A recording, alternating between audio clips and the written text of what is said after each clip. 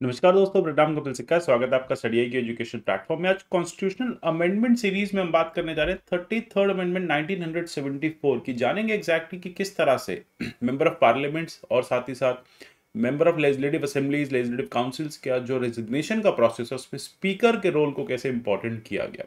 जानेंगे एग्जैक्टली कि कैसे article 101 article 194 of the constitution में कुछ चेंजेस लाए गए और इससे स्पीकर की जो पोजीशन है रेजिग्नेशन को लेके वो काफ़ी ज़्यादा स्ट्रांग हो गई। अगर आप राजस्थान जुडिशल एग्ज़ाम की प्रिपरेशन कर रहे हैं तो इसके कोर्सेज आप हमारे यहाँ से परचेज कर सकते हैं। इसके अलावा बाकी जुडिशल कोर्सेज भी हमारे पास अवेलेबल हैं।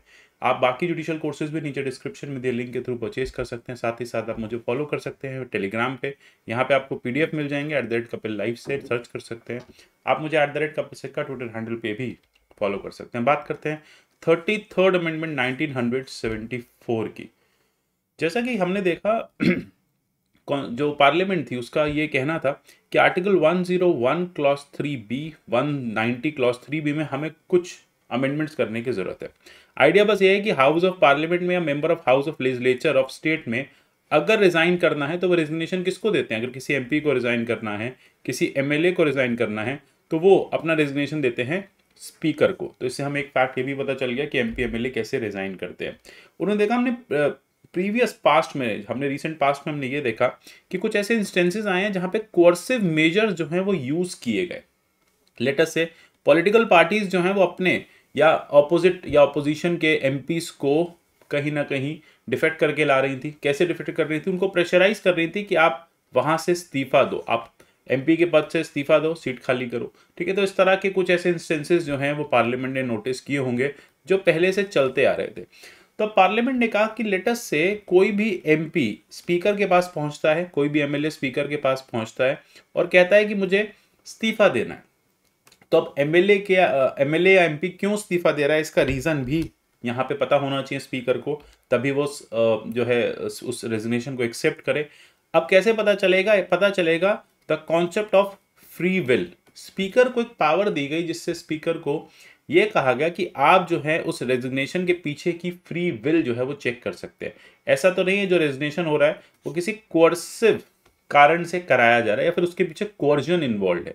तो अगर यही कहा कि अगर हम इस तरह के मैकेनिज्म को इस तरह से होते इस्तीफों को चेक नहीं कर पाएँगे तो फिर पार्लियामेंट का या लेजिस्लेटिव असेंबली का कॉन्स्टिट्यूशन के प्रोविजंस के अकॉर्डिंग फ़ंक्शन करने में दिक्कत आएगी। इसलिए पार्लियामेंट ने प्रपोज किया कि हमें कुछ चेंजेस लाने पड़ेंगे आर्टिकल 101 क्लॉज थ्री में आर्टिकल 190 क्लॉज थ्री में। चेंजेस क्या है? चेंजेस ये हैं कि जब भी आप अपना इस्तीफा, एक एम पी अपना रेजिग्नेशन जो है, वो स्पीकर या चेयरमैन को सबमिट करेंगे तो यहाँ पे उनको ये बताना पड़ेगा कि एग्जैक्टली exactly रेजिग्नेशन का रीज़न क्या है। चलिए, वो तो बताते ही बताते हैं। सबसे बड़ी बात है कि जो रेजिग्नेशन एक्सेप्ट होगा, वो तब तक एक्सेप्ट नहीं होगा जब तक स्पीकर या चेयरमैन सेटिस्फाइड नहीं है एक इंक्वायरी करने के बाद कि ये जो रेजिग्नेशन है, ये वॉलेंट्री है और जेन्युन है।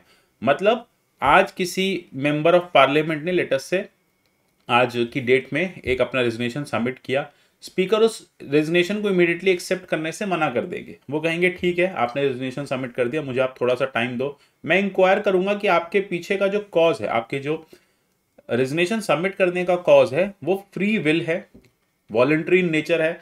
आप किसी कोवर्जन में आके इसको सबमिट नहीं कर रहे तो ये पावर जो है स्पीकर को दी गई। बाद में वैसे तो देखा जाए, अभी सुप्रीम कोर्ट इस पावर को मिसयूज सुप्रीम कोर्ट इस पावर को लेके चिंतित भी है इस पावर का मिसयूज बहुत किया जाता है कि जब लेटर से ये कांग्रेस कर्नाटका के केस में भी देखा गया था कि जब कांग्रेस की गवर्नमेंट थी और कांग्रेस के कुछ एम अपना इस्तीफा सबमिट करना चाहते रिजाइन करना चाहते थे, उससे कांग्रेस को ये डर था कि उनके रिजाइन करते ही चौदह जो एम रिजाइन करने जा रहे थे, उससे सरकार जो है वहाँ की कर्नाटका की गिर जाएगी। तो इसलिए क्या किया, कर्नाटका के स्पीकर ने काफ़ी लंबे समय तक उन उन इस्तीफों को होल्ड पे रखा अपने इसी 101 क्लॉज थ्री की पावर को यूज़ करते हुए। तो सुप्रीम कोर्ट ने इस बारे में भी चिंता जताई है कि देखो, इसका मिसयूज नहीं होना चाहिए। ये हम एक फेयर पर्पज के लिए लाए थे। तो 101 में क्या चेंजेस किए गए, ये कहा गया कि कोई भी एम पी रिजाइन कर सकता है अपनी सीट से by writing under his hand address to chairman और स्पीकर एज द केस में, may be and his resignation is accepted by the chairman of or speaker as the case may be without or you can say after checking the information and inquiring that whether the resignation is voluntary and genuine in nature और अगर speaker को लगता है कि resignation voluntary नहीं है genuine नहीं है तो वो उस रेजोनेशन को एक्सेप्ट करने से मना भी कर सकते हैं तो ऐसा एक स्टेटमेंट आ गया कभी कि क्या स्पीकर एमपी एमएलए के रेजिग्नेशन को मना कर सकते हैं एक्सेप्ट करने से। तो बिल्कुल कर सकते हैं। ये बात क्लियर मेंशन है 101 क्लॉज थ्री बी में। क्लियर शब्दों में लिखा हुआ है कि अगर स्पीकर सेटिस्फाइड है, तभी वो इस रेजिग्नेशन को एक्सेप्ट करेंगे। अगर वो सेटिस्फाइड नहीं है, उनको लगता है कि ये जो रेजिग्नेशन है, ये किसी कोवर्जन का नतीजा है तो फिर वो उसको एक्सेप्ट करने से मना कर देंगे। तो इसी तरह से सिमिलर चेंजेस किए गए। आर्टिकल 190 में भी आर्टिकल 190 किसके लिए है? ये लेजिस्लेटिव असेंबली के लिए है और लेजिस्लेटिव काउंसिल जहाँ जहाँ पे एप्लीकेबल होगी, वहाँ के लिए है। तो याद रखिएगा 101 एंड 190 जो है, वो यहाँ पे अमेंड किया गया एंड अकॉर्डिंगली चेंजेस जो हैं, वो लाए गए। तो ये दोनों अमेंडमेंट्स जो हैं, या दोनों जगह जो अमेंडमेंट्स हैं, वो किए गए थे। आपके थर्टी थर्ड अमेंडमेंट 1974 के द्वारा।